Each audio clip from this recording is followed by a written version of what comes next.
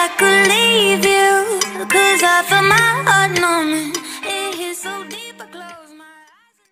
Hello mga amigos amigas! Welcome back po sa ating channel. Para sa aking mga new viewers, Hi! I am Noemi Faustino at kung bago lang po kayo dito sa aking channel, please join to my family by clicking the subscribe button. So for this video, pag-uusapan nga po natin kung bakit nga ba bumababa or kung bakit mababa ang mga sperm counts or similya ng ibang mga kalalakihan. Siyempre, kapag mababa ang kanilang uh, similya or sperm count, mahihirapan silang magkaroon ng baby or ng supling. And kapag matagal nang nagsasama ang isang magkopol, ang isang mag-asawa, ang isang magpartner, at hindi pa talaga sila mabiyayaan ng supling or baby, ah, hindi lamang po ang babae or si babae ang merong depresya or problema, no? Pwedeng or maaaring si lalaki din po ay merong problema. At malaking factor nga po doon na ah, meron siyang problema sa kanyang sperms or sa kanyang kasit or similya. So, bakit nga ba? Ano nga bang mga dahilan kung bakit bumababa ang sperm counts ng mga lalaki? Ah, ilang milyon nga ba dapat ang meron sila sa kanilang testicles?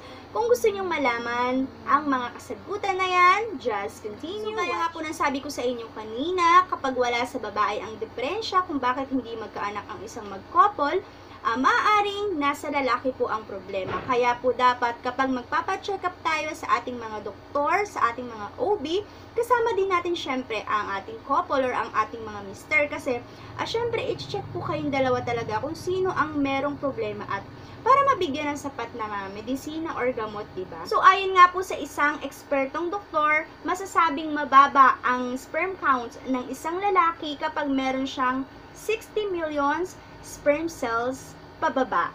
So, kapag meron siyang 60 millions sperm cells pataas, iyon ay tinatawag na good or uh, mataas ang chance na magkaroon siya ng anak or walang problema sa kanyang similya. So, bakit nga ba bumababa ang mga sperm counts ng mga kalalakihan or ng isang lalaki? First, hormonal imbalance.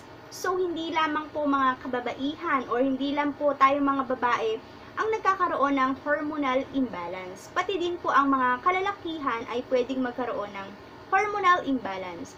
So kapag uh, meron silang hormonal imbalance, nagkakaroon ngayon ng problema sa production. So hindi makapag-produce ng tamang dami ng uh, similya or ng uh, kasit sperm cell so hindi makapag-produce ng maayos. So ayan, naglugay na lang muna ako dahil medyo naiirita ako sa aking mga baby banks na umaalon-alon. So back to the topic na nga po.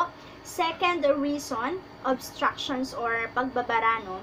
So, for example, nakapag-produce naman yung katawan nila ng tamang dami or sapat na dami ng sperms or ng similya, pero meron namang obstructions or pagbabara dun sa pinakatubo, no? Nga po pala sa mga nagtatanong or sa mga hindi nakakaalam, ang mga sperms or ang mga similya po ng mga lalaki ay nanggagaling or napoproduce sa kanilang mga testicles or sa kanilang mga itlog, sa kanilang mga betlog, ayan, dun po sila nanggagaling. So, kapag na-matured na or nag-matured na yung mga sperms na yon aakyat na sa pinakatubo, ready na for come out. Magre-ready na sila para kung uh, anytime magkaroon ng chukchak chenes, yung boy na yon, yung lalaki na yon, ay ready na rin lumabas yung mga sperms. So, uh, kapag nagkaroon ng obstructions or pagbabara doon sa mga ugat-ugat doon or doon sa daluyan nila, dadaluyan para mag-come out, hindi rin 100% lalabas. So, kulang lang din. Hindi sapat. Hindi sapat yung dami na mailalabas. May maiiwan, may matatraffic, di ba? So, uh, nagkaroon lang din ng problema. So, hindi rin siya makakabuo or magkakaproblema lang din siya na makabuo. Diba? So, kailangan talaga magpa-check up or ipatingin kung meron nga obstructions or pagbabara dun sa pinakatubo or dadaanan. So, number three reason, ito po, totoo po ito, no, at ayon din po to sa ekspertong doktor, na kapag na-trauma, or madalas matroma, or madalas masaktan ang mga testicles or yung mga itlog na mga lalaki.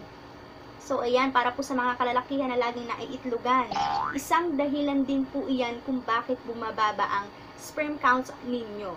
So, ang testicles po or yung mga betlog ng mga lalaki, nandoon po ang mga sperms, di ba po? At ang laman po nun ay 50-50. So, for example, mer- meron tong 50 millions uh, sperms.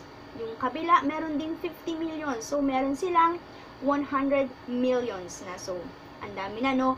Pero kapag madalas silang matroma or nasasaktan lagi, nabubunggo lagi, nasisipa lagi, ayan, ah, may posibilidad na ma-damage yung nasa loob or ma-damage yung mga sperms doon sa loob. Kaya sa ating mga amigas dyan or sa ating mga misis na laging binebetlogan si Mr. Hinay-hinay lamang po, baka nga po isa yan sa dahilan kung bakit bumababa ang sperm count ng ating mga mister. So, wag na lang po sa itlog, sa ibang part na lang po ng katawan. Joke lang.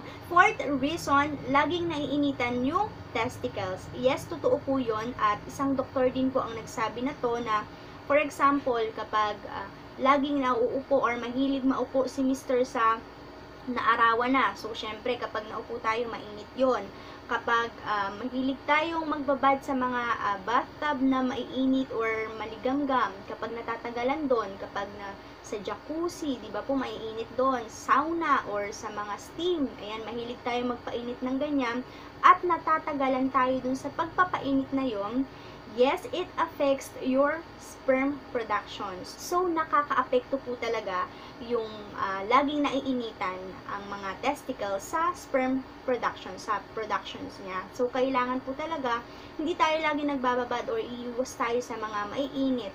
So, fifth and last reason, varicocele. So, ang varicocele ay isang problema din siya sa testicles or dun sa mga itlog ng mga kalalakihan. Nagkakaroon ng problema yung vessels or yung nagsusupply ng sperms at nagkakaroon din ng depekto dun sa flowing. So, maraming explanations about a varicocele pero ang alam ko lang po talaga dito is ah, merong problema dun sa flowing or dun sa vessels na nagsusupply ng sperms para umonte or basta meron siyang depekto para hindi makapag-supply ng maayos doon sa ating testicles. So, sana po ay nabigyan ko kayo ng malinaw na explanation and short information kung bakit nagkakaroon po ng infertility ang mga kalalakihan. Kung may nakaligtaan man po ako or may mga hindi po ako nabanggit na alam nyo naman po, ah, comment nyo lang po sa baba at ipipin ko po yan para po syempre malaman din po ng mga iba pa nating mga amigos at amigas at makapagbigay po tayo ng iba pang impormasyon. So gaya nga po ng sabi ko sa inyo kanina, hindi porket hindi magkaanak ang isang mag-asawa, ang isang mag-partner or ang isang mag-couple, ay ibig sabihin na ay si babae na ang laging may depresya or may problema, pwede rin namang si lalaki ang may problema. So, kailangan po talaga kapag magpapacheck up tayo, syempre magkasama kayong mag-couple para ah, malaman kung sino po talaga ang may depresya or may problema sa inyo at mabigyan ng tamang ah, medisina na nararapat. At syempre para maipaliwanag din ng doktor kung bakit nagkakaroon ng ganon or kung bakit nagkakaproblema. So, that's it for my video. Dito ko na po i-end ang aking video. Thank you so much again for watching. Sana nakatulong po ako sa video ko na ito. Kung hindi ka pa po nakaka-subscribe sa aking channel, please do subscribe. Idami nyo na din pong pindutin ang tiny bell button katabi ng subscribe para always mananotify ka tuwing may mga gantong video ako. Kung nagustuhan mo naman ang aking video, give it a thumbs up, share and mag-comment lamang po kayo sa baba kung may mga suggestions or may mga katanungan po kayo sa akin. Also follow me on my Instagram. Bye! See you on my next one!